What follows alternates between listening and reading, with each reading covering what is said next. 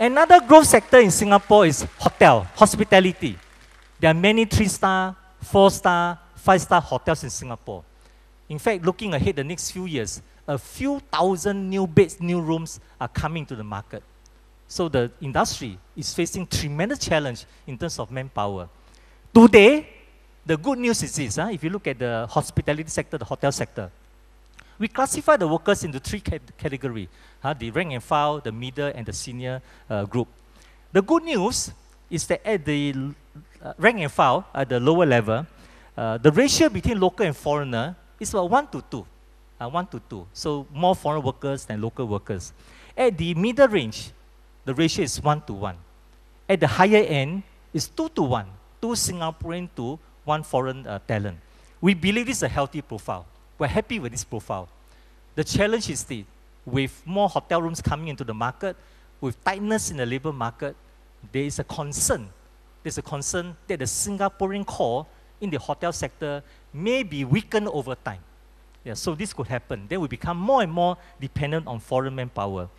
So the hotel industry, together with the tripartite partners, were very determined to do whatever necessary to attract Singaporeans, to retain Singaporeans, to upgrade Singaporeans for this sector.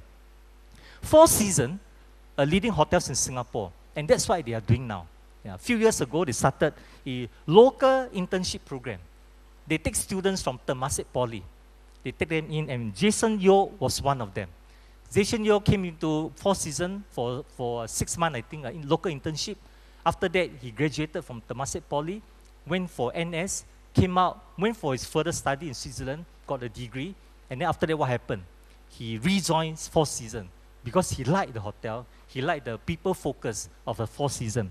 And today, Jason is now the learning manager uh, in the Four Seasons Hotel. So I asked my chap, why learning manager? It means he's keep learning. Uh, the job just keep learning. He said, no. His job is to enable young Singaporeans like himself to join Four Seasons, to learn the, the skill in the trade, and to progress up the ladder. So under the leadership of this uh, Jason Yeo, having gone through all this learning journey himself with, uh, with Four Seasons, today he's a manager managing this internship program. And this internship program is no longer just a local internship program, but an overseas internship program as well. So here we have uh, Amanda, uh, who went through this internship in Mauritius. And today she's on scholarship by Four Seasons uh, in, uh, studying at the UNLV, uh, University of Nevada at Las Vegas. Yeah. And in fact, it demonstrated that yes, we keep saying that it's hard to attract Singaporeans into the hotel sector, but again, if you put in the effort, uh, it can be done. It can be done. Another challenge facing the hotel sector is even if you attract foreign manpower, local manpower, but given the uh, tightness of the labor market, how do we make best use, better use of every worker? Here, I'd like you to meet Matthew. Matthew is uh, 28 years old. Here, I'd like you to meet uh, Matthew, the receptionist at the Park Hotel, right? Then let me also introduce you to Matthew, the waiter. He also worked at Park Hotel at Clarke Quay. Then the next person I'd like to meet is Matthew, the housekeeper. Uh, he also worked in Park Hotel, Clarke Quay. The three Matthew is actually the same Matthew. There's only one Matthew. Yeah. Matthew is now a multi-skilled worker in the hotel sector. He's able to do front desk, F&B, and housekeeping. Why is that so? I think we all know in the hotel, the workload huh, has a different peak hours. In the morning, all hotel guests rush for breakfast. F&B very busy.